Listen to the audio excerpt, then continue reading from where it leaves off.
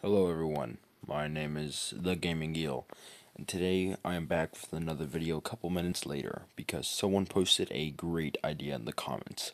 Dark Aura, you have yet to identify yourself. I'm pretty sure I know who you are, but as of now I do not. But they suggested top 10 reasons why the sockeye salmon is gay.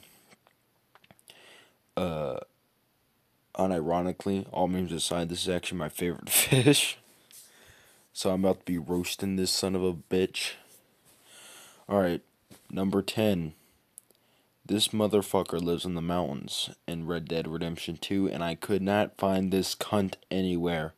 I fucking hate him. Number 9. Uh, he's green, so that automatically makes him a bitch. Number 8. He lives in Alaska Number seven, um,